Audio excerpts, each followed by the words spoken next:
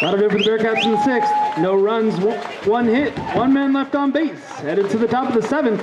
Bearcats still trail eight to three. I play D, yeah, boy.